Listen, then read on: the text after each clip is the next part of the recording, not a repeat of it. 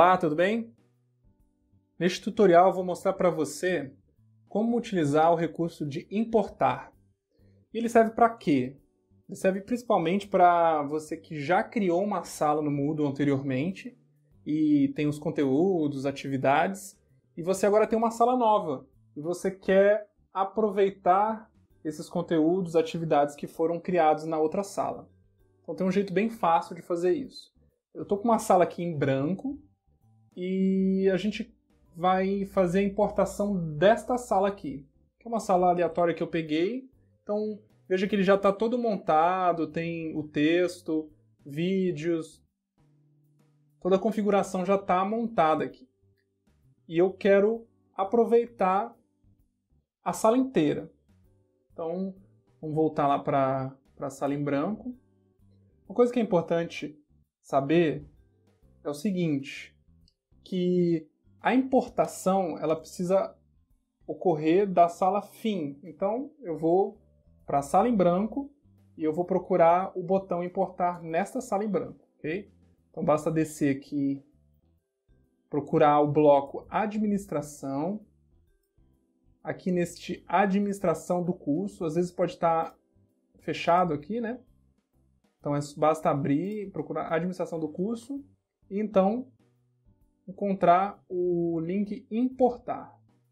Clicando nele, vai aparecer uma página onde eu vou selecionar o curso que eu quero importar as informações. Então, eu tenho duas formas de fazer isso.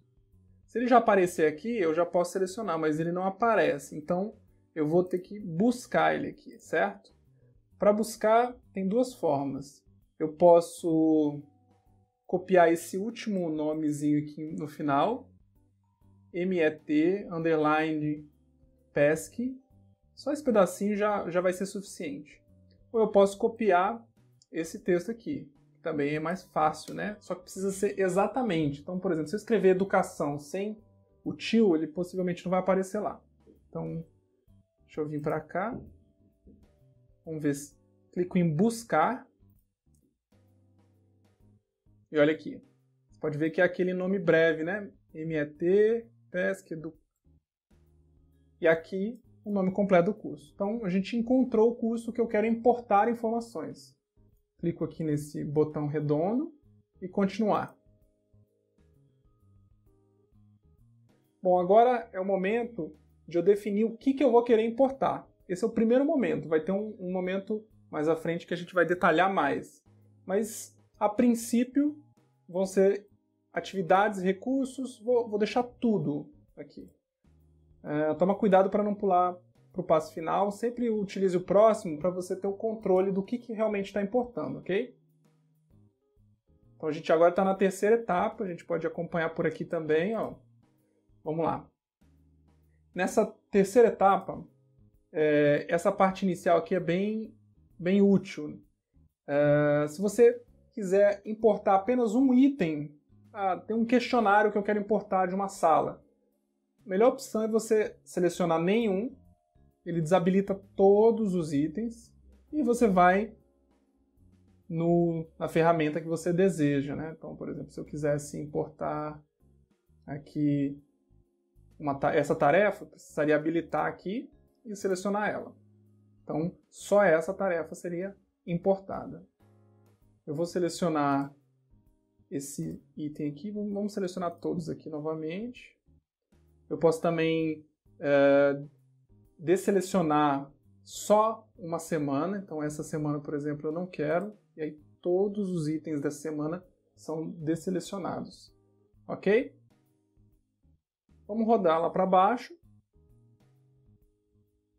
Isso aqui tem bastante coisa, né? Deixa eu tirar essa, essa biblioteca aqui, por exemplo. E basta clicar em próximo. E agora é a confirmação e revisão do que você selecionou. Essa parte é bem útil, importante você olhar. Se você quer selecionar só alguns itens, é aqui que você vai ver o que vai vir e o que não vai. Então, ó, quando tiver X em vermelho, não vai ser importado. Quando tiver verde, vai ser importado. Basta rolar lá para baixo e executar a importação. Ele vai gastar alguns minutinhos, alguns segundinhos, né? Clicou em continuar e a gente vai ver agora como é que está a nossa sala, que estava toda em branco, já está toda completinha. E aí, caso venha algum item que você não quer, basta excluir, né? Bom, esse é um método que a gente indica para você aproveitar conteúdos que estão em outras salas. Existe a possibilidade também de você fazer com backup.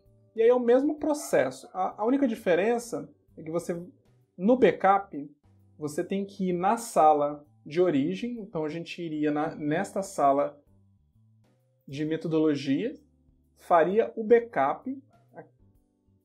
Onde é que está aqui? Vamos lá, embaixo. Backup.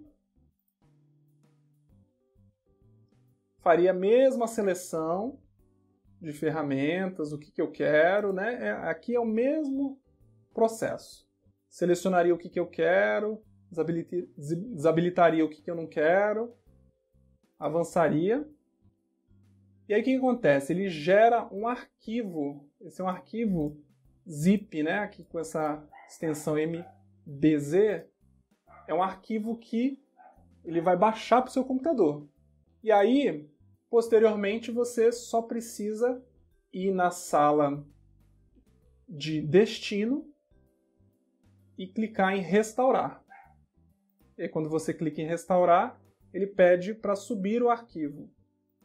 Então tem essas duas formas de você aproveitar um conteúdo de uma outra disciplina. A gente recomenda o importar, que ele é mais simples e mais direto, né? você não precisa fazer download. Mas se você quiser guardar o backup da sua sala, você utiliza o backup, ok? Um abraço!